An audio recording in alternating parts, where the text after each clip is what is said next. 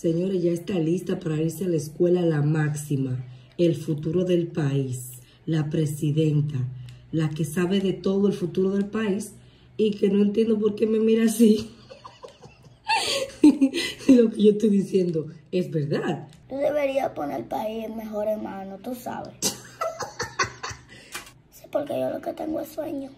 Al contrario, yo te iba a decir que si no es posible que yo estudie cuando yo sea grande. ¿Cómo así, Shelby? Sí, porque esta situación de estarse levantando a las 5 de la mañana. Así que para ir a estudiar, óyeme, son sacrificios que alguien tiene que pagármelo a mí. Mírame el favor, usted está construyendo su futuro. Sí, pero la base está floja.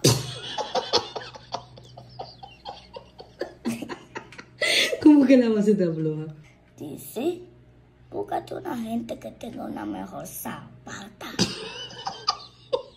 Sí, Chermy, pero con todo y todo, tú sabes que hay mucha gente que tiene todas sus esperanzas puestas en ti porque tú eres el futuro del país. Habiendo tantos niños, tú quieres poner sus esperanzas en mí. Una cosa que yo quisiera estar durmiendo ahora mismo es.